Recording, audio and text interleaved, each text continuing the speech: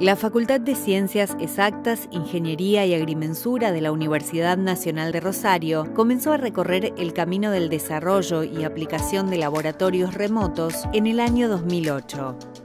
Los laboratorios remotos son una herramienta muy importante para la enseñanza, como así también para la industria y los centros de investigación.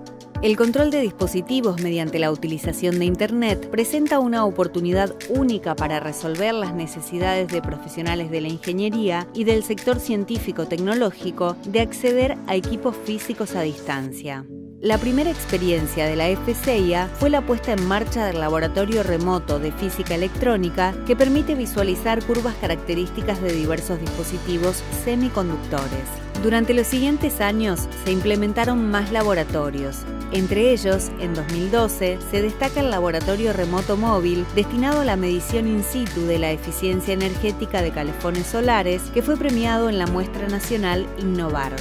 En 2016, y a través del programa Erasmus de la Unión Europea, se adquirió Visir, un laboratorio creado en 1999 en Suecia. Con el laboratorio remoto Visir de la FCI a UNR en línea, se amplió la posibilidad de que docentes y estudiantes de las distintas carreras de la facultad y de instituciones adherentes del proyecto puedan desarrollar prácticas experimentales reales con acceso remoto. Desde entonces, la FCIA ha continuado su camino de crecimiento en esta área, logrando importantes avances como el desarrollo de un gestor de laboratorios remotos, un sistema independiente que permite otorgar permisos de accesos, los accesos propiamente dichos, obtener estadísticas de uso, conocer el recorrido que realizan las y los alumnos y vincularse con distintos sistemas como las redes sociales u otras plataformas tipo LMS, como es el caso de Moodle.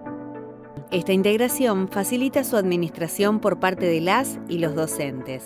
El gestor permite el acceso a los cuatro laboratorios remotos propios con que cuenta hoy la FCEIA y a laboratorios de otras instituciones como los de las universidades de Deusto, en Bilbao, y Federal de Santa Catarina, en Brasil, e incluso a simulaciones que es posible gestionar dentro de este sistema.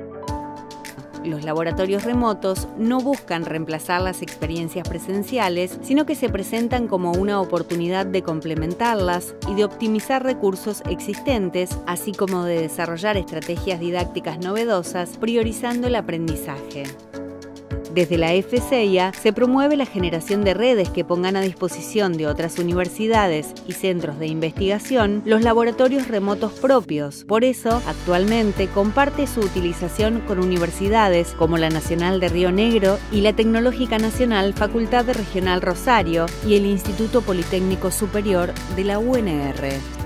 Sumar conocimientos, compartir experiencias y caminar juntos este camino es clave para que los laboratorios remotos se integren al mundo académico y científico tecnológico del país y del mundo.